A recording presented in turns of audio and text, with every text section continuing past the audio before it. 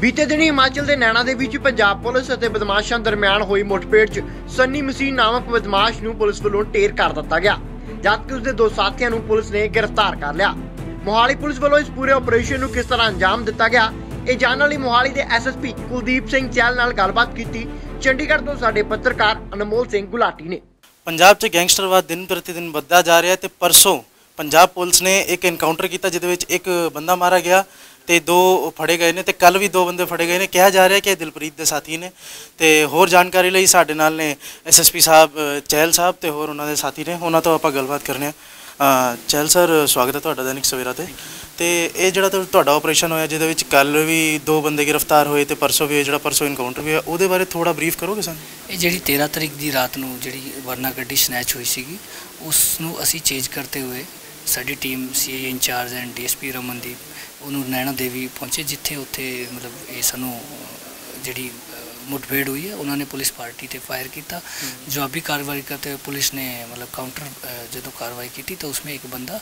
ਜ਼ਖਮੀ ਹੋ ਗਿਆ ਬਾਅਦ ਚ ਹਸਪੀਟਲ ਜਾ ਕੇ ਉਹਦੀ ਡੈਥ ਹੋ ਗਈ ਸੀ। ਬਾਕੀ ਦੋ ਬੰਦੇ ਉੱਥੇ ਹਿਮਾਚਲ ਪੁਲਿਸ ਉੱਥੇ ਅਰੈਸਟ ਹੋ ਗਿਆ ਉਹਨਾਂ ਤੇ ਉੱਥੇ ਐਫ ਆਈ ਆਰ ਰਜਿਸਟਰਡ ਹੋ ਗਈ ਐਂਡ ਫਰਦਰ ਉਸ ਤੇ ਕਾਰਵਾਈ ਕਰ ਤੇ ਕਿੰਨਾ ਕੋ ਟਾਈਮ ਹੋ ਗਿਆ ਸੀਗਾ ਤੁਹਾਨੂੰ ਤੁਸੀਂ ਇਹਨਾਂ ਨੂੰ ਟਰੇਸ ਕਰ ਰਹੇ ਸੀਗੇ?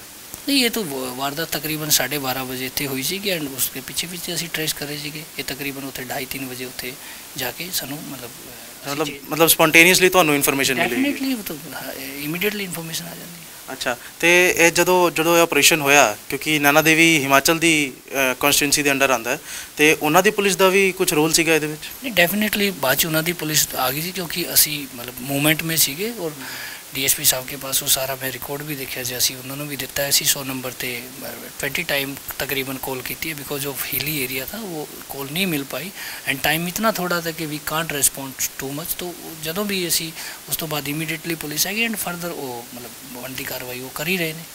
ਅੱਛਾ ਜਿਵੇਂ ਕਿ ਦੋ ਬੰਦੇ ਕੱਲ ਅਰੈਸਟ ਹੋਏ ਦੋ ਪਰਸੋਂ ਤੇ ਇਹਨਾਂ ਦੇ ਕੋਲ ਕਿਹੜੇ ਕਿਹੜੇ ਆਬਜੈਕਸ਼ਨਲ ਆਰਟੀਕਲ ਆਬਜੈਕਸ਼ਨੇਬਲ ਆਰਟੀਕਲਸ ਮਿਲੇ ਤੇ ਕਿਹੜੀ ਕਿਹੜੀ ਇਹਨਾਂ ਦੇ ਦਫਾ ਲੱਗੀਆਂ ਨੇ? ਨਹੀਂ ਵੈਪਨਸ ਜਿਹੜਾ ਵੀ ਹੈਗੇ ਇੱਕ 30307 ਮੇ ਐਫ ਆਈ ਆਰ ਰਜਿਸਟਰੀ ਇਹ ਦੋਨੋਂ ਇੱਥੋਂ ਵਾਲੀ ਵੀ ਐਂਡ ਜਿਹੜੀ ਹਿਮਾਚਲ ਵਾਲੀ ਵੀ ਉਸ ਤੋਂ ਇਲਾਵਾ 30 ਦੇ ਵੈਪਨ ਸੀਗੇ ਦੇਸੀ ਕੱਟਾ ਸੀਗਾ ਐਂਡ ਕੁਝ ਟਵਾਈਸ ਪਿਸਟਲ ਐਂਡ ਕੁਝ ਆਰਸੀਜ਼ ਵਗੈਰਾ ਮਿਲੀ ਠੀਕ। ਤੇ ਹੋਰ ਹੋਰ ਇਨਵੈਸਟੀਗੇਸ਼ਨ ਚ ਹੁਣੇ ਪੁੱਛ ਪੁੱਛ ਕੇ ਚ ਕੀ ਸਾਹਮਣੇ ਆਇਆ ਤੋਂ ਤੁਹਾਡੇ? ਰਿਮਾਂਡ ਤੇ ਅਭੀ ਪੁਲਿਸ ਰਿਮਾਂਡ ਤੇ ਆਣਗੇ ਉਸ ਤੋਂ ਬਾਅਦ ਹੀ ਅਸੀਂ ਕੁਝ ਕਹਿ ਸਕਦੇ ਅੱਛਾ ਤੇ ਸਰ ਇਹ ਜਿਹੜਾ ਗੈਂਗਸਟਰਵਾਦ ਹੈ ਇਹਨੂੰ ਖਤਮ ਕਰਨ ਲਈ ਕਿਹੜੇ ਕਿਹੜੇ ਸਟੈਪਸ ਚੱਕੇ ਜਾ ਰਹੇ ਨੇ ਪੁਲਿਸ ਵੱਲੋਂ ਉਹ ਥੋੜਾ नहीं नहीं कोई गैंगस्टरवाद नहीं है police Punjab police are committed to eliminate और अ, इनको जो मतलब अ, बिल्कुल ही या तो आप मेन धारा में आओ वरना जो बनती कानूनी कार्रवाई उन्हें तो सारे तक होनी है ਲੇਕਿਨ ਸੋਸ਼ਲ ਸਾਈਟਸ ਤੇ ਇਹਨਾਂ ਨੂੰ ਤੇ ਹੀਰੋ ਬਣਾਇਆ ਜਾ ਰਿਹਾ ਹੈ ਹਰ ਥਾਂ ਤੇ ਮਤਲਬ ਇਹਨਾਂ ਦੇ ਸਪੋਰਟਰ ਬੋਲ ਰਹੇ ਨੇ ਠੀਕ ਹੈ ਤੇ ਉਹਨੂੰ ਉਹਦੀ ਰੋਕਥਾਮ ਲਈ ਵੀ ਕੁਝ ਸਾਈਬਰ ਕ੍ਰਾਈਮ ਵੱਲੋਂ ਕੁਝ ਸਟੈਪਸ ਲਿੱਤੇ ਜਾ ਰਹੇ ਨੇ ਡੈਫੀਨਿਟਲੀ ਹਮਾਰਾ ਜੋ ਪੰਜਾਬ ਪੁਲਿਸ ਦਾ ਸਾਈਬਰ ਕ੍ਰਾਈਮ ਹੈ ਮਤਲਬ ਕਾਫੀ ਐਕਟਿਵ ਹੈ ਐਂਡ ਇਹ ਲੋਕਾਂ ਨੂੰ ਦੇਖਣਾ ਚਾਹੀਦਾ ਕਿ ਅਸੀਂ ਕਿਹਨੂੰ ਫੋਲੋ ਕਰ ਰਹੇ ਹਾਂ ਇਹ ਕਿਸ ਤਰ੍ਹਾਂ ਦੇ ਲੋਕੀ ਨੇ ਔਰ ਕਿਸ ਤਰ੍ਹਾਂ ਦੇ ਲੋਕਾਂ ਨੂੰ ਇਹ ਸਤਾਉਂਦੇ ਨੇ ਇਹ ਸੀਗੇ ਸਾਡੇ ਨਾਲ ਐਸਐਸਪੀ ਚਹਿਲ ਸਾਹਿਬ ਜਿਹੜੇ ਕਿ ਜਿਨ੍ਹਾਂ ਨੇ ਦੱਸਿਆ ਆਪਣੇ ਆਪਰੇਸ਼ਨ ਬਾਰੇ ਤੇ ਇਹਨਾਂ ਨੇ ਇਹ ਵੀ ਕਿਹਾ ਕਿ ਲੋਕਾਂ ਨੂੰ ਇਹ ਲੋਕਾਂ ਦੀ ਰਿਸਪੌਂਸਿਬਿਲਿਟੀ ਹੈ ਕਿ ਉਹਨਾਂ ਨੂੰ ਵੇਖਣਾ ਚਾਹੀਦਾ ਹੈ ਕਿ ਉਹ ਸੋਸ਼ਲ ਸਾਈਟ ਨੂੰ ਕਿੰਨੂੰ ਫੋਲੋ ਕਰ ਰਹੇ ਕਿੰਨੂੰ ਨਹੀਂ ਕੈਮਰਾਮੈਨ ਦੀਪਕ ਦੇ ਨਾਲ ਅਨਮੋਲ ਸਿੰਘ ਗੁਲਾਟੀ ਦੈਨਿਕ ਸਵੇਰਾ ਚੰਡੀਗੜ੍ਹ